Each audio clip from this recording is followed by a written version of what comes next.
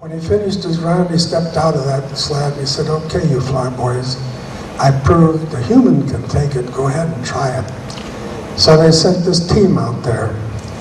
Um, starting on the left side, the lieutenant is Swindell. He was the uh, flight engineer on the B-29. Myself, Chuck Yeager. Jackie Ridley on the end was the brains of the outfit. Uh, he had a master's in aeronautical engineering. Behind him, the partly bald guy is Dick Frost. He was a Bell test pilot, also worked on the design of the X-1. He knew the X-1 inside and out. And then there's Bob Hoover. Now, General Boyd, whom we greatly respected, was very careful in picking his crew. I know he, I was the last one he called in. He said, you don't have to worry, Bob, I've already picked the crew. Chuck's to be the first pilot. Anything happens to him, uh, Bob Hoover steps in. And uh, listen to Ridley, because he's the, he's the engineer, and Dick Frost knows everything. I said, no, he said, I picked you to kind of be in charge of the whole thing because you are in charge of the flight testing going on at Edwards, and this is going to be done out at Edwards. Um, I said, may I ask, sir, why, why didn't you pick uh, Glenn Edwards to fly the X-1? Because Edwards, you're going to have stability problems. And Glenn Edwards uh, helped Dr. Perkins write the book on stability and control.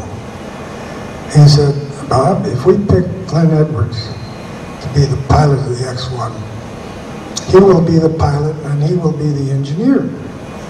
And then God forbid that it should happen, but if we lose it, we lose everything. This way, if we lose Chuck, we still got Jackie Ridley. Um, okay, I said, but how about Bob Hoover? I think he's a better stick and rudder guy. He said, no, I, I agree that he could probably fly the thing, but he said this airplane does not have a hydraulic system or pistons or electrical system. It operates out of just pure gas pressure, some different uh, mechanical gadgetry in it. And uh, Yeager, before he was a pilot, he was a maintenance man. So his maintenance background is another reason. Well, I couldn't argue with that, so away we went. Um, Boyd gave me a set of instructions. I have it written down, it was also branded on my rear. Said, um, the project will be progressive, it will be brief, safety flight is paramount, but it is not to prevent success.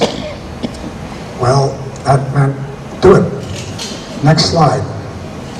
Back east, NACA was building this huge lift to raise their B-50 they were using. Next slide, please. Back in the desert, to be brief, we dug a hole in the ground and put the X-1 down there, and we towed the B-29, next slide, we towed the B-29 over it, and we used the internal bomb hoist now the B, the X1 fueled, completely fueled, uh, is uh, 12,500. We would tow it up, un, unrefueled, un, unfueled, and then fuel it later. Uh, the next thing, instead of spending another couple of months figuring out how to fasten the X1 to the B-29, we used a 2,000 pound bomb shackle. And in order so that it would work, we drilled a hole through the bomb shackle and stuck a pin in there. And so that's how you take off, with a pin in the hole the bomb shackle. Um, Jackie Ridley used to fly co-pilot for me. One of his last tasks up high, uh, helping Chuck get in the thing, handing the door to him to, so he could lock it. Then before I said drop, he would go back and he'd pull the pin out of the bomb shackle and we uh, Chuck would fly at about initially 0.84 Mach and then do a 3G turn. The 3Gs would put a load on the tail, he might get it 0.86. So we went in, in increments.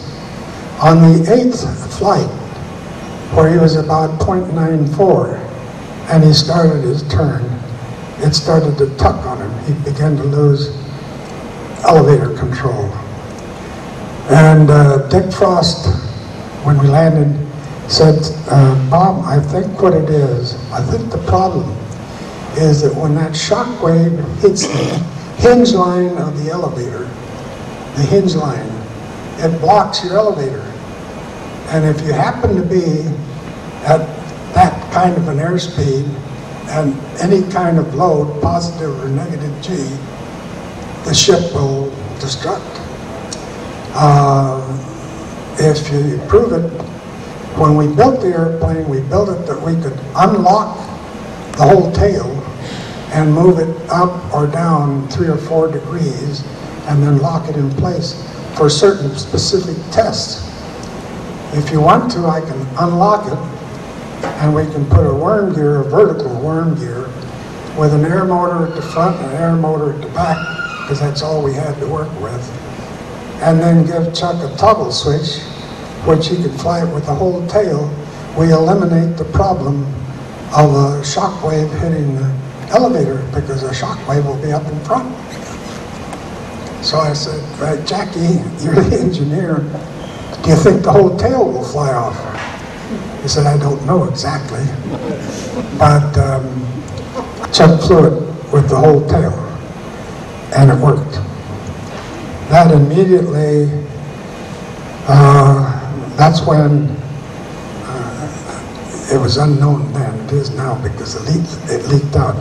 When I heard Chuck complain about his Mach meter stuck at one, that's when I did a victory roll with a B-29. I swore the whole crew to silence, otherwise Boyd would have had my rear. But next slide, please.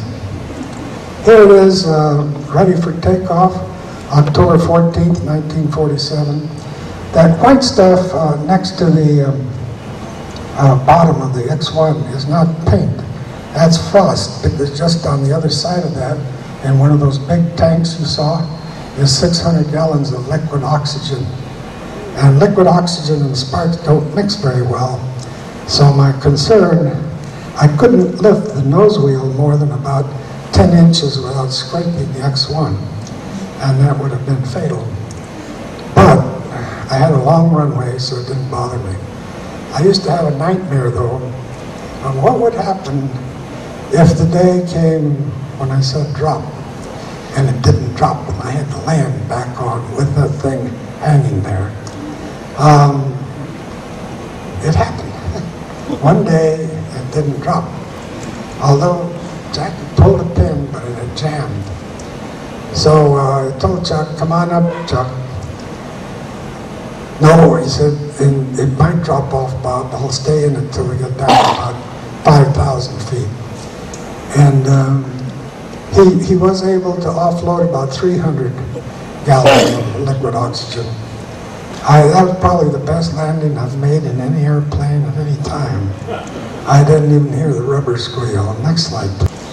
Right at this point is where he turns on the rockets and uh, starts his climb. Up ahead, about 40 miles up ahead, at 40,000 feet, is Bob Hoover in an RF-80, a reconnaissance. He had cameras on that one. And as Chuck went screaming by, he tilted his wing. Next slide. And took this picture. Hoover took this with his RF-80. Now, you see the exhaust has uh, pulses. Well, the engine isn't doing that. That is the shock wave is now beyond the tail. He's at, gone through Mach 1. The shock wave is behind him, cutting through because the rocket exhaust is solid, and that shock wave is cutting. This was pictorial proof that he had done it. Uh, this was on the president's desk within about 48 hours. Uh, it was proof, and then they slapped top secret on it. Not so much top secret that we'd done it, but how.